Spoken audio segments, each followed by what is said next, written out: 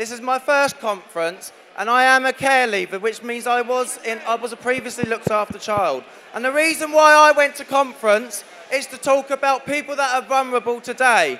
People that are in society who are left behind and hidden in homes that are not affordable. They're in temporary accommodation and they're living on the streets. We've got homeless, it's been raised across this whole conference.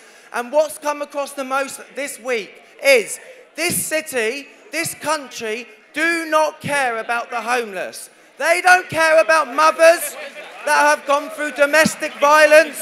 They don't care about students that are trying to make our society better. And most of all, they don't care about us, the real people in society who are making the difference. We're paying the taxes every single day. And it's an abomination that in this city, you need £900 per month to live in substandard emergency accommodation. No rights. I've got one message for Theresa May and the Tories. They lied to us. They told us in the 80s this right to buy was going to be amazing. You can own your own home. They told us they were going to replace every home sold like for like. They fucking lied. So, this is my message to Jeremy Corbyn and the Labour Party.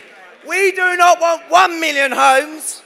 We don't want two, three or four. We want five million council homes. Go on!